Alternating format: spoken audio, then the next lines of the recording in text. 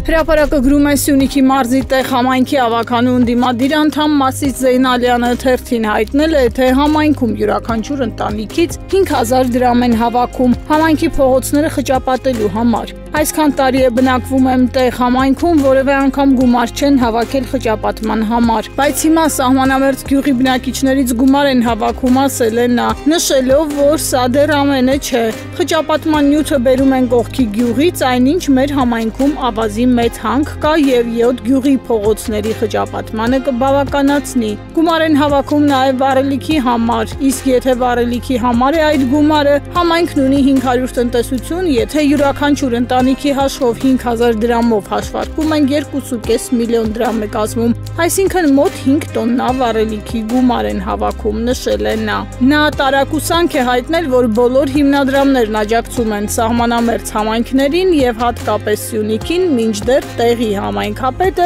ինքն է մեծ գումարներ հավաքում։ Իրավունքին հասած տեղեկություններով Ջալալ Հարությունյանը նախաքննական մարմնին տված ցուցմունքում չի խնայել որևէ մեկին։ Նրա հարցակնությունից հետո ըստ լուրերի հարցակնությանը հրավիրվել Օնիկ Գասպարյանը, ով եւս հլուհնացանց ցուցմունք է տվել, իսկ հիմնական կծիկը ասում են քանդել է հենց Պաշտպանության բանակի նախկին հրամանատար Միքայել Արզումանյանը։ Իշխանականներին մոտ կանգնած աղբյուրի համաձայն այս պահին առաջին հերթում Օնիկ Գասպարյանը եւ Տիրան Խաչատրյան patronen. Ժողովրդի տեղեկություններով զինվորական դատախազն այս օրերին պատրաստվում է ազատման դիվում գրել ավելին քաղաքական իշխանությունը այս պաշտոնի համար տեխնացու ունի վերջինս Հայաստանի քնչական կոմիտեի նախկին նախագահ Հայկ Գրիգորյանն է։ Զինդատախազությունը Գրիգորյանի համար անծանոթ կառույց չէ, քանի որ նա նախկինում աշխատել է զինվորական քնչականում ու տարբեր պաշտոններ զբաղեցրել։ Թերթը գրել էր, որ գլխավոր դատախազությունում մարշալույսները խաղաղ չեն, չնայած Աննա Վարդապետյանը Հայաստանի գլխավոր դատախազ դատախազի աթորը կսպաղեցնի սեպտեմբերի 15-ից, բայց մինչև նրա գալը դատախազությունում արդեն որոշ պաշտոնյաներ տրամադրված են հեռանալ։ Մինչև Վարդապետյանի գալը պաշտոնից ազատման դիմումներ կգրեն գլխավոր դատախազի տեղակալներ արդարդատության 3-րդ դասի պետական խորհրդական Հայկ Ասլանյանը, զինվորական դատախազ Վահե Հարությունյանը։ Նրանք չեն սպասի, որ իրենց ազատեն, այլ իրենք դիմում կգրեն։ Գլխավոր դատախազի տեղակալներից Արմեն Աֆադյանի հարցը այլ է, դատ դատախազությունում վստահ են, որ Վարդապետյանը նրա հետ չի աշխատի, ուստի այսպես թե այնպես նա եւս կազատվի պաշտոնից։ Միակ տեղակալը, որը դատախազությունը չի լքի կլինի Գևորգ Բաղդասարյանը։ Նա թեև դատախազ Դավթյանի ընկերն է, բայց մարտի 1-ի գործով մեղադրող դատախազներից մեկն է ու ծառայություն է մատուցել քաղաքական իշխանությանը։ Արձանագրում է ժողովուրդը։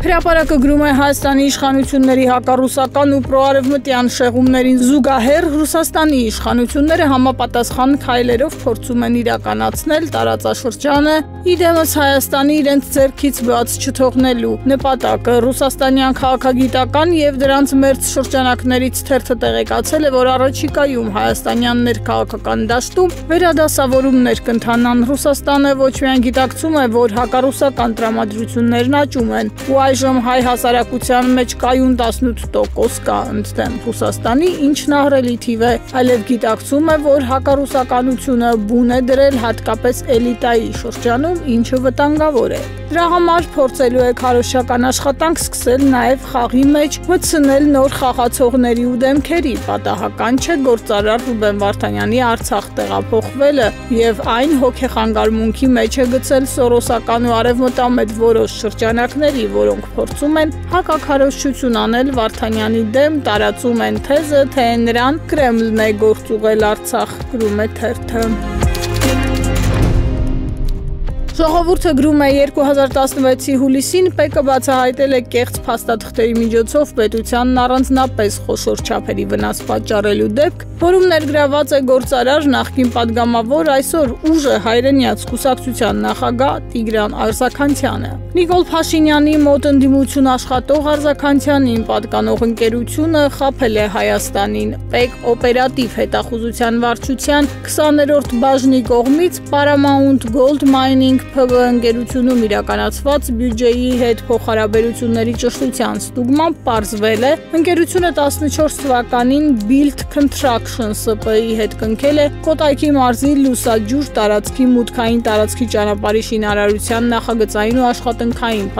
փաստաթղթեր կազմելու վերաբերյալ պայմանագիր։ Կողմերը 15 թվականին կազմել են աշխատանքների կատարման ընդունման հանձնման ակտ, հաստատելով, որ աշխատանքները ամբողջ ծավալով կատարվել են։ Աշխատանքի արժեքը սահմանվել է 52 միլիոն դրամ։ Պեգի կողմից հիմնավորվել է, որ այս ընկերությունների պաշտոնատար անձինք առանց փաստացի ծառայությունների մատուցման եկամուտների ու ծախսերի վերաբերյալ ներկայացրել են կեղծ փաստաթղթեր պետությանը պատճառելով առանձնապես խոշոր չափերի վնաս։ Paramount Gold Mining ընկերության բաժնետերերն էին ԱԺ նախկին նախագահ Հովիկ Աբրահամյանը եւ Տիգրան Արզականցյանը։ Հրապարակը գրում է սեպտեմբերի 12-ին ընթരാճ ընդդիմադիր երկու դաշինքներում ակտիվ քննարկումներ են ընթանում ազգային ժողով գնալ չգնալու շուրջ։ Թեպետ դիմադրության շարժման ընթացքում ընդդիմադիրները քանիցս հայտարարել են կվերադառնան միայն սեփական օրակարգով, հավաստի աղբյուրներից ինֆորմացիա է ստացվել, որի տարբերություն առաջին փորձի ԿՊ-ն հունվարին մտադիր է մանդատներից զրկելու գործընթացը ավարտին հասցնել, որ միջազգային հանրությունը հատկապես եվրոպական կառույցները այլևս դեմ չեն լինի դրան։ Հայաստան դաշինքում դեռ ընդհանուր հայտարարի չեն եկել, չնայած մի քանի ժամանոց ծանր քննարկում է ընթացել վերջին օրերին, Սերժ Սարգսյանն էլ իր թիմակից падգամավորների հետ քննարկումներ է անում, բայց պատիվ ունեմ Դաշինքի պահվածքը մեծապես կախված է Հայաստան Դաշինքի որոշումից։ Չնայած ավելի վաղ ՀՀԿ-ականները կատեգորիկ ասում էին, որ խորհրդարան չեն վերադառնալու։ Փողոցային պայքարի անհաջողությունները ընդդիմությանը մղում են վերադառնալ